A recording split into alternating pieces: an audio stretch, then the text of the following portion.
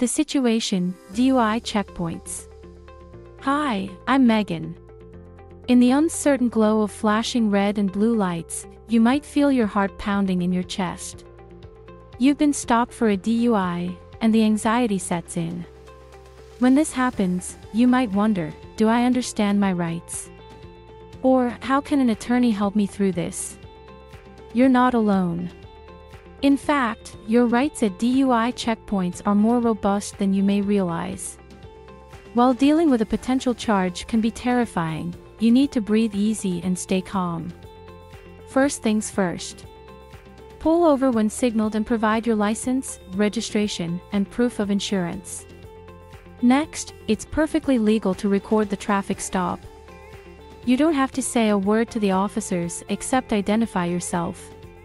If anything, be sure to let them know you will not be answering any questions without an attorney present. Finally, don't consent to a search of your vehicle. Even if they still insist on a search, make it clear you disagree and let your lawyer handle the rest as you step aside.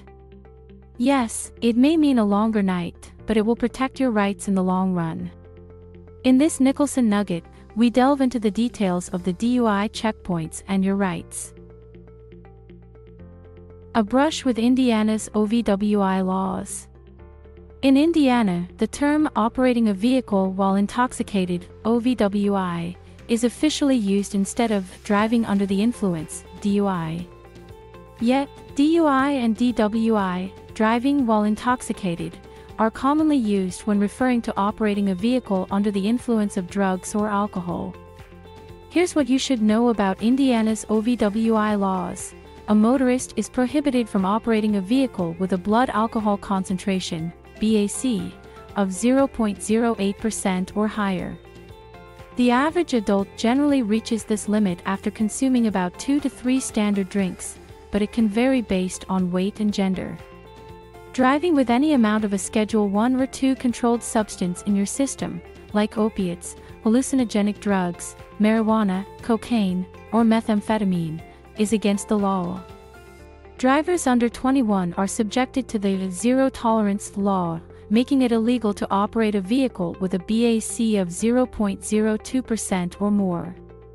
Knowing these laws is the first step to understanding your rights when stopped for a DUI. What an attorney can do for you.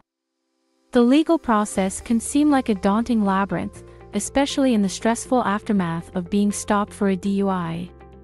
However, a dedicated DUI attorney can guide you through this complex process, acting as your advocate and working tirelessly to put you at ease. Here's how. They will closely examine the circumstances of your arrest, ensuring your rights were not violated during the process. They will challenge any test results and procedures. They will represent you in court, fighting for your rights and the best possible outcome. They will inform you of what will happen next so you can better plan to get your life back on track after this disruption. They will consider if the checkpoint caused any violations of your rights. FAQs, the stop, the tests, the aftermath.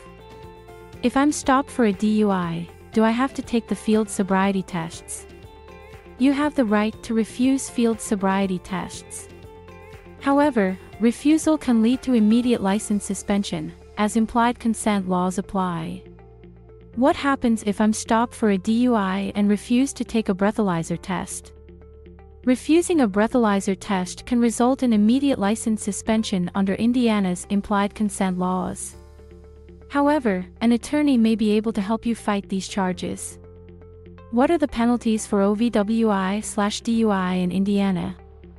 Penalties for OWI slash DUI in Indiana vary depending on prior offenses and other factors. They can range from fines and license suspension to jail time. Consult an attorney for specifics relevant to your case. The most common places for DUI checkpoints. DUI checkpoints are often set up in areas with a history of drunk driving incidents or locations with heavy drinking, near bars, clubs, or on popular routes home from these establishments. Have you encountered a DUI checkpoint in an unexpected area? You will also find DUI checkpoints near colleges or intersections known for frequent accidents. In most cases, law enforcement tries to improve the community's safety. If you answer calmly, you will probably be flagged to move on. However, you must understand your rights and be prepared for any scenario. Don't navigate these troubled waters alone. Being stopped for a DUI can be an overwhelming experience. But remember, you don't have to face these challenges alone.